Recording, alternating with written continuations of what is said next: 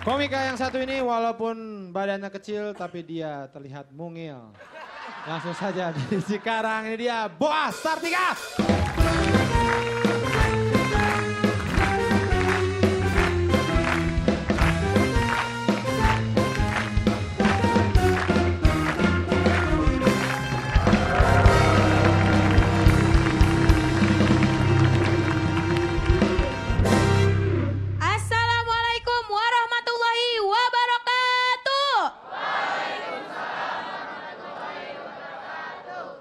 Kenalin nama gue Boa Sartika. Bagi gue, masa kecil itu masa yang terindah. Karena di situ gue belum mikirin dunia yang sesungguhnya.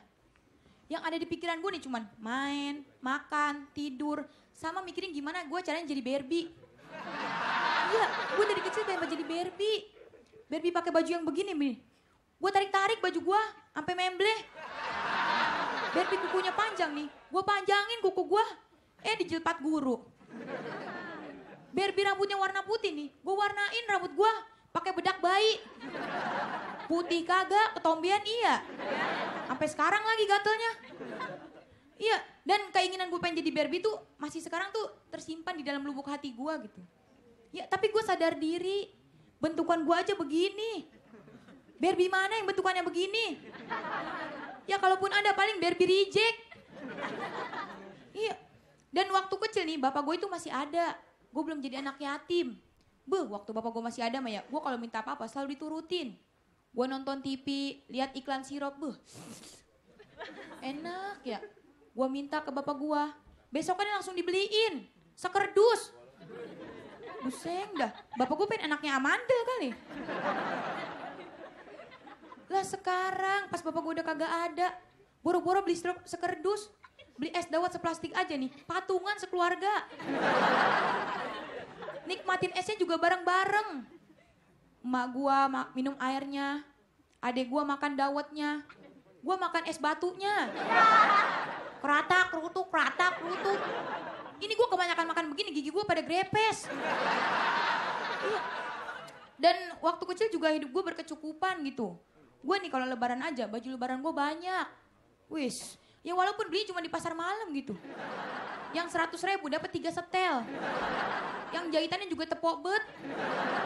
Yang yang bahannya nih tipis bet kayak tisu WC. Ya tapi gue tetap seneng gitu.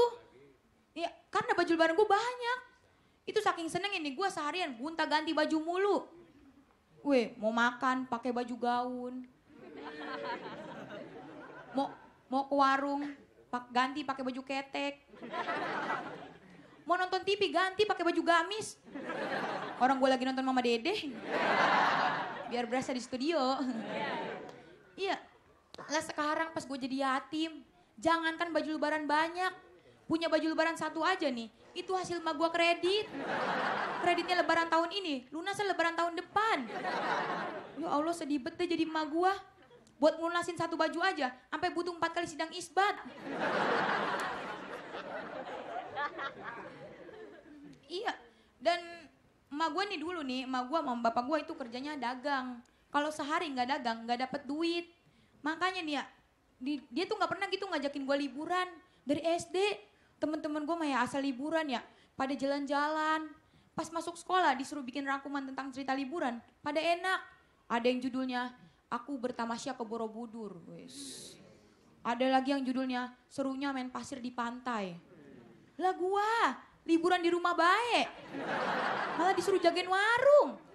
Ini apa yang mau gua rangkum? Daftar belanja bulanan. Iya, Pokomi, utang korek satu. Pomida, utang beras letter. Poeni, utang bud dua batang. Ini di judul rangkuman gua nih, asyiknya berkontribusi dalam perekonomian warga Cikarang saat liburan sekolah. Cerdas rangkuman gue. Iya beneran dah, bapak gue ini nggak pernah gitu ngajak jalan-jalan, gue nggak pernah ngajak jalan-jalan ke kota tua aja nih, gue nggak pernah. Makanya nih, gue sampai sekarang masih penasaran, itu kota tua apanya? Apa isinya dalamnya Pak Jarwo semua? Apa gedong yang pada bongkok? Ya, gue ke Taman Mini nggak pernah, ke Ragunan nggak pernah. Gue cuma tahu dari cerita teman-teman gue. Yang katanya di Taman Mini ada kereta gantung, di Ragunan ada harimau putih. Ya gue percaya-percaya aja gitu. Kalaupun lu nih bilang di Ragunan ada gajah pesek, capung gingsul, percaya gua. Apalagi lu bilang monyet bisa goyang dua jari. Pasti percaya gua. Mungkin begini. Dan bapak gue tuh emang orang yang anti banget gitu, ngajakin anaknya jalan-jalan. Iya dia bilang nih, ngapain sih jalan-jalan, buang-buang duit. Mendingan duitnya buat beli makanan. Ntar kalau udah, lu mau beli apa? Mau telur gulung? Bapak beliin yang segede guluan kabel. Biar kenyang-kenyang dah. Kalau udah kenyang bantuin bapak. Ngapain pak? Mindahin sumur. Bapak mah, yaudah kalau begitu gua mintanya pizza.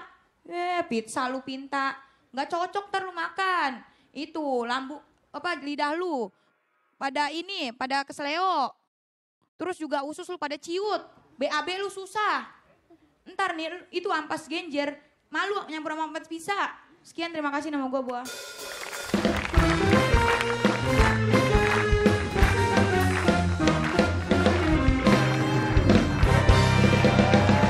Sartika dari Cikarang. Sehat, Boah?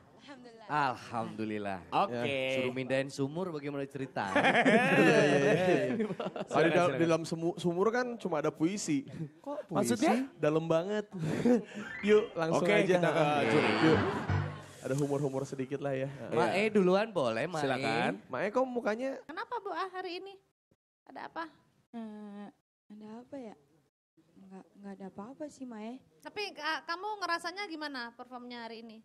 Eh, kurang sih, kayak kurang tenaga gitu. Ah, Iya gitu, Mae. kenapa bisa begitu? Eh, kurang istirahat ya serama enggak? istirahat, ini lagi istirahat. Materi udah hafal? Alhamdulillah. Hafal mah hafal. Nggak tahu ya, Kak, nggak tahu. Semoga saya salah. Tapi saya Ya. kayak melihat buah malam hari ini mentalnya menurun, terus kayak nggak fokus gitu. Jadi ya aku ngerasain kenapa ya sayang aja sih ini enam besar buah. Setuju. Ya beberapa langkah lagi gitu. Iya, Mae. Ya karena memang di di makin ke sini pasti pasti mental akan sangat terganggu. Iya, Makanya iya. makanya memang benar-benar dipersiapkan juga kesehatan gitu. Ya. Ya. Siap. Ya, itu aja sih Bu, ah. cuman menyayangkan aja. Sayang banget hari ini. Oke, Ya, Oke. terima Kasih, Mae. Thank you, Mae. kita cari di Radit deh. Silakan, Dit. Ada apa nih Dit? Boah.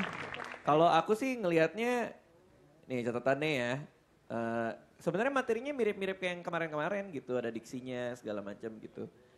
Tapi kamu tuh lemas, terus buru-buru, feelingnya nggak ada, hilang gitu kayak bukan buah tadi. Berarti Jangan-jangan hantu yang hantu yang kesurupan itu ada di tubuh Boah sekarang. Apakah kamu Naruto? ini masalah masalah feel dan pembawaan sih dan keyakinan sama materi gitu. 100% soal itu kalau menurut saya ya. Eh, nah pertanyaan baliknya adalah ya apa yang terjadi gitu. Kenapa? Kenapa kamu tidak yakin gitu? Kenapa tidak ajak ngebawainnya? Kayak nggak nikmatin panggung lah gitu ya. Iya padahal tadi ya oke gitu. Maksudnya passable gitu. Bisa lah oke untuk jadi sebuah penampilan.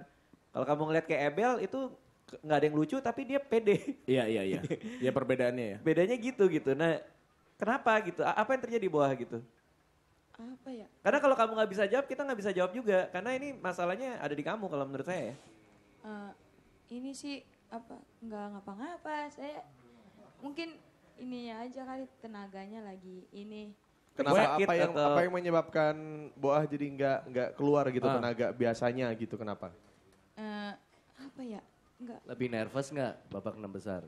Eh, nervous sih sedikit deg-degan gitu Oh, udah Apa tadi gara-gara lihat Oki pecah terus jadi keyakinannya ber- menurun? Iya sih sedikit gitu kan emang nonton Bang Oki juga Oh ngedrop itu goyang tuh, gara-gara itu. Iya.